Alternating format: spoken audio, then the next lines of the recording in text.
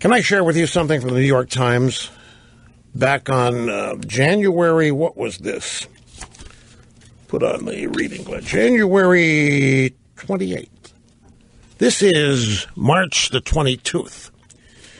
So we're almost two months.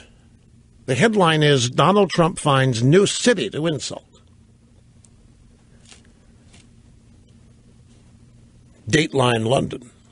He incensed Paris and London by saying that some of their neighborhoods were so overrun with radicals that the police were too scared to enter.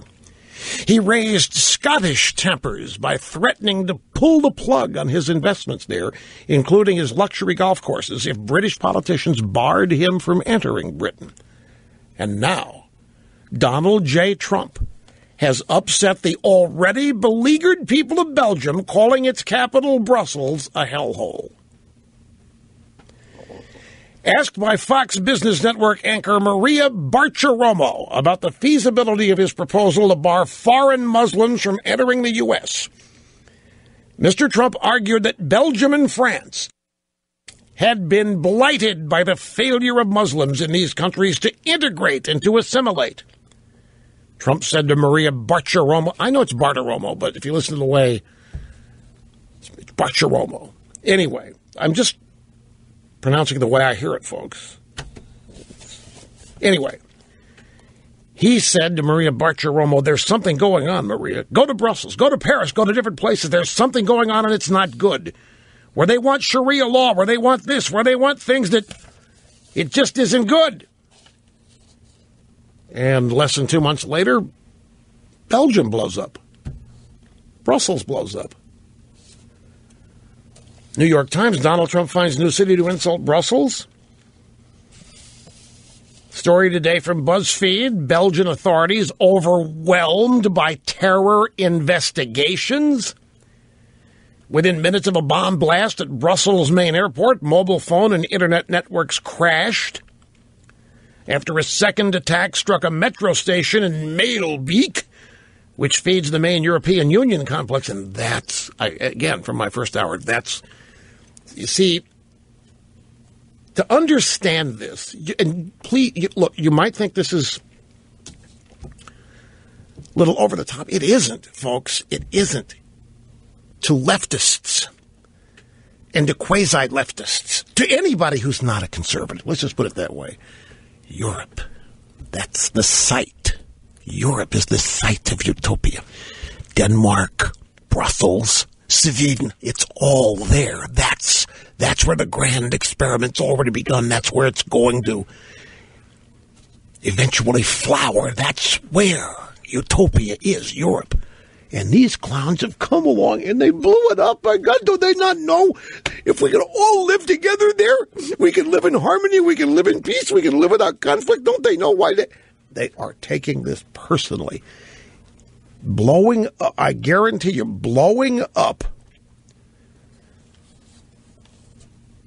Maelbeek, which feeds the main European Union complex. That's like that's that'd be like blowing up the underground railroad subway system, whatever, to the U.S. Capitol. You, oh God, you know, hit anything, but damn, oh my God, this is a direct hit on our utopian site.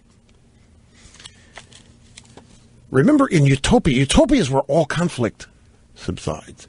Utopia is where all conflict goes away. Utopia is when everybody realizes peace, unity, oneness, sameness, equality, justice, you know, all these things. And these clowns hit it.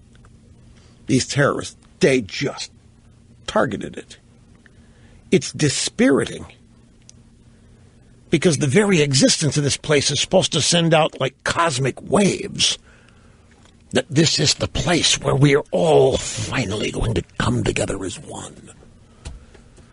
And they went out and hit it. It's double depressing to them for that reason. Belgian counterterrorism officials have been on high alert for years as hundreds of citizens and residents have departed for the battlefields of Syria and Iraq. One Belgian official said that besides the names of hundreds of fighters believed to be abroad, the security services have more than 200 open files related to threats at home and in Europe. Virtually every, listen to this, virtually every police detective and military intelligence officer in Belgium is focused on international jihad investigation. There isn't any time for murder, robbery, any of the other everyday crimes because everybody is focused on jihad. And even with that, the jihadists succeeded. The official from the intelligence agency said, Look, we, we just don't have the people to watch anything else. And frankly, we don't have the infrastructure to properly investigate or monitor hundreds of individuals suspected of terror links, as well as pursue the hundreds of open files. This is utopia. This is what everybody aspires to. And they are not equipped to deal with the harsh realities of the world, including that there are bad guys who want to kill us simply because we're alive. They don't want to kill us because they don't like our values. It's, uh, that's another Hillary and Obama. We must maintain our values. That's, that's not a value question for them. It's a religious question. We're infidels. It's no more complicated than that. Plus, we are at war with them, or we're going through the motions of it anyway.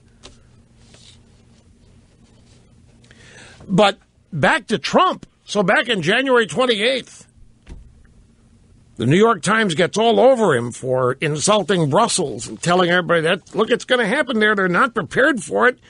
You know, all, these, all this massive immigration in, in Belgium and other European nations, and there's no assimilation. They're living together amongst each other. They're not becoming citizens of these countries, and they are not learning the specific ways of life in these countries. So the Times insults Trump and rigs on Trump. And now we have a story of the Politico Trump on Brussels attacks. I told you so. Donald Trump said today he's been warning about the importance of border security for some time, a comment that comes in response to the explosions in Brussels. He says, I've been talking about this for a long time. Look at Brussels, he said in a phone interview. This on Fox and Friends today. Uh, not on the Fox Business Network like he did originally with Maria Bartiromo.